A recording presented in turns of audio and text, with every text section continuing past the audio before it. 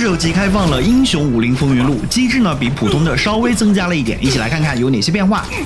一号 BOSS 关继承，该组的技能略有增多，都有红圈的提示，注意走位就可以了。引武技能的时候呢，斩灵会分散到两个角落，需要定点的入口进入到挑战，三十秒内要打完。